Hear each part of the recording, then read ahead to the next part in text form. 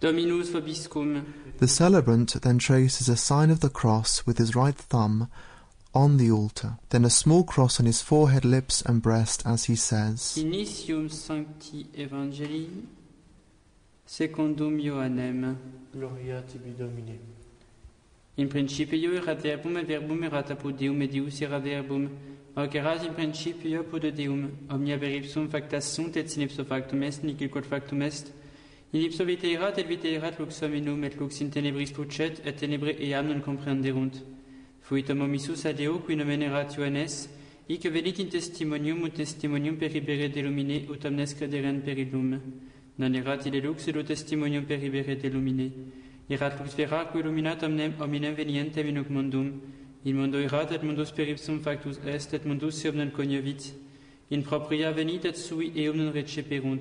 Quod quod totem receperunt eum, deliteis potestatem filios Dei fieri, isque credunt in nomine eius, qui ex sanguinibus, neque ex voluntate carnis, neque ex voluntate viris et ex sunt. Et verbum caro factum est, et habitavit in nobis, et vidimus gloriam eius, gloriam quasi unigenitia Patri, plenum gratiae et veritatis. It is customary after the last Gospel for the celebrant to recite the Leonine prayers at the foot of the altar.